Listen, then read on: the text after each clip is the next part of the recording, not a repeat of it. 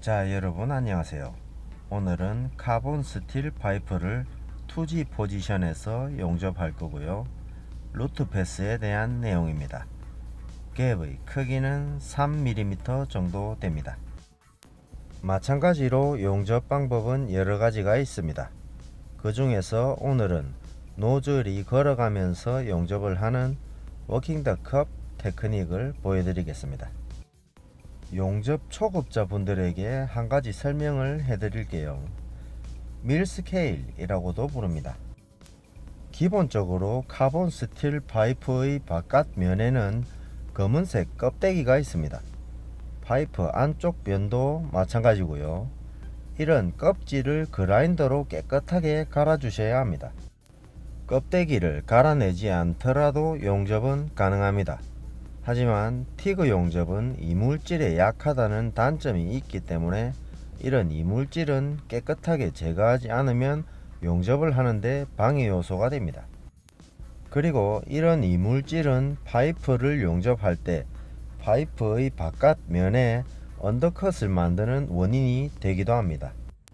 그렇기 때문에 용접을 하기 전에는 용접될 부분의 이물질을 깨끗하게 청소한 후에 용접하시는 것이 좋습니다. 그리고 또 한 가지 조건이 있습니다. 용접을 할 때 정확한 부분을 조준해서 용접을 하기 위해서는 텅스텐 끝부분이 항상 뾰족한 상태를 유지하셔야 합니다. 그렇게 해야만이 정확한 부분에 일정한 열을 가할 수 있습니다. 자, 가접은 이렇게 했고요. 동서남북 이렇게 네 군데에 가접을 했습니다. 용접은 이쪽 방향으로 할 거고요. 연결되는 부분은 그라인더로 날카롭게 갈아놨습니다. carbon steel을 용접할 때에는 기본적으로 전류가 높은 편이기 때문에 이렇게 갈지 않아도 연결은 잘 됩니다. 그러나 연결 부위를 날카롭게 갈면 실수할 확률은 줄어듭니다. 토치의 움직임은 이렇습니다. 텅스텐은 좁고 촘촘하게 움직이는 것이 좋습니다. 루트 패스를 할 때 텅스텐이 크게 움직인다면 백비드의 높이는 낮게 만들어질 확률이 높아집니다. 그리고 파이프의 내부에 언더컷이 만들어질 확률이 높아집니다. 그리고 lay wire 테크닉으로 용접을 할 때에는 용접봉이 용융풀에서 분리되지 않는 것이 좋습니다. 이때에도 마찬가지로 텅스텐을 좁게 움직이면 용융풀의 모양을 유지하는 데 도움이 됩니다. 그리고 또 한 가지 용접봉 조준 위치입니다. 용접봉이 녹는 위치는 파이프의 바깥쪽보다는 파이프의 안쪽에서 녹이는 것이 좋습니다. 이렇게 하면 용접봉의 공급량이 작더라도 백비드는 볼록해집니다. 그러면 이런 동작이 되겠죠.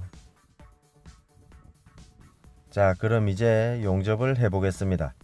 용접 속도를 느리게 해볼게요. 텅스텐의 움직임과 용접봉의 위치를 확인해 주세요. 용접봉이 용융풀에서 분리되지 않게 용접하는 테크닉을 레와이아 테크닉이라고도 부릅니다. 용접봉을 용융풀에 달고 간다 라고도 부릅니다. 이때 중요한 점은 용접봉이 용융풀에서 분리되지 않아야 된다는 점입니다. 그러기 위해서는 용융풀이 물 같은 느낌보다는 꿀 같은 느낌으로 만드는 것이 더 좋습니다. 그리고 용접봉을 일정한 속도로 밀어 넣어 주시는 것도 중요합니다. 이때 용접봉을 파이프의 뒤쪽에서 녹여 주신다면 용접봉의 공급량이 작더라도 백비드는 볼록한 모양이 만들어집니다. 지금 보시면 용접봉의 끝부분만 파이프의 안쪽으로 들어갔습니다. 이렇게 용접봉을 공급하는 방법도 있고요. 용접봉을 대각선 방향으로 공급하는 방법도 있습니다. 뭐 그것도 잠시 후에 보여드릴게요.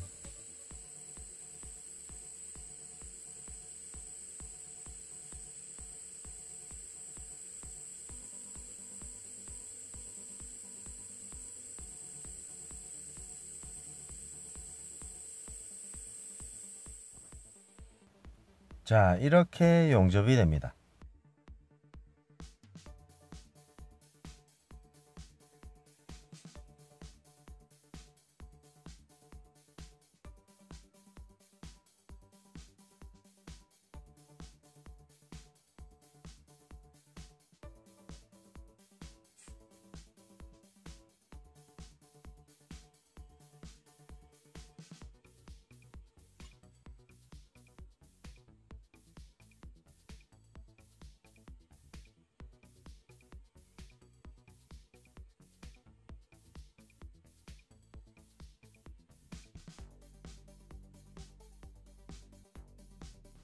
중요한 포인트는 이렇습니다.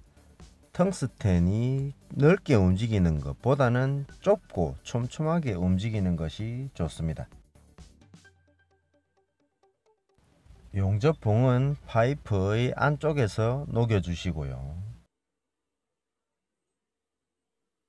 그러면 이런 모양으로 용접이 됩니다.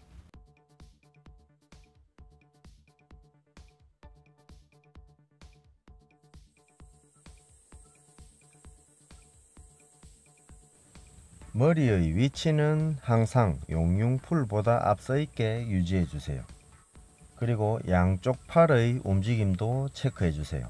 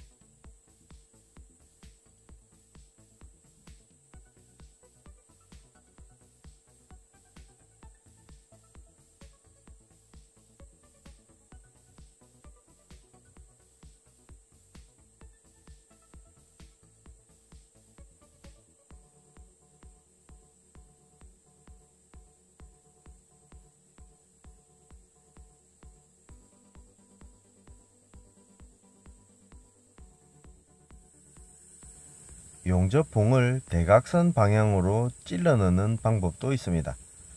이렇게 해서 용접봉을 파이프의 안쪽에서 녹이는 방법도 있습니다. 이때에도 마찬가지로 용접봉이 용융풀에서 분리되지 않게 주의해 주세요.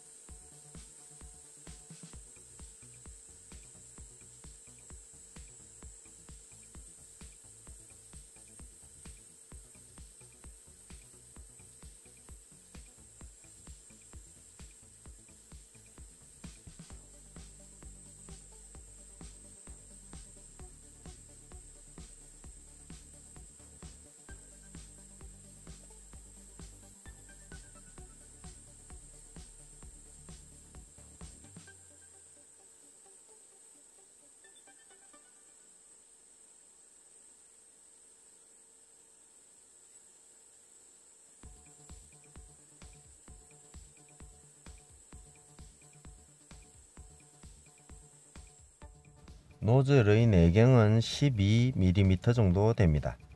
텅스텐의 길이는 8mm 정도 됩니다. 그러면 이 정도 각도가 만들어집니다. 오늘은 크기가 작은 노즐을 사용해서 루트 패스를 했습니다. 차후에는 크기가 큰 노즐을 사용해서 용접하는 방법도 보여드릴 거고요.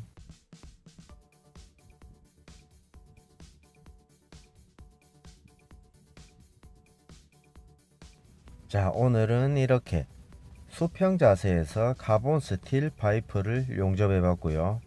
walking the cup 테크닉과 lay wire 테크닉을 결합해서 root pass를 해봤습니다. 용접 초급자 분들이 쉽게 이해하실 수 있도록 용접 속도를 빠르지 않게 유지했습니다. 뭐 오늘의 내용이 용접을 배우시는 분들에게 도움이 되셨으면 좋겠네요.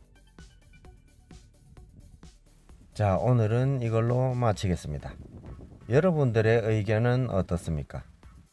여러분들의 의견과 노하우는 많은 동료들에게 큰 도움이 될 것이라고 생각합니다. 저의 용접 방법이 반드시 정답은 아닙니다.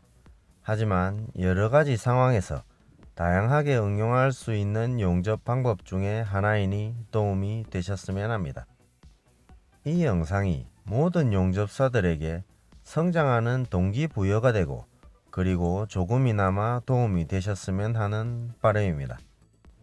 좋아요 눌러주시고요. 구독하시고 제 채널에 오시면 더 다양한 용접 영상들이 있습니다. 시청해주셔서 감사합니다.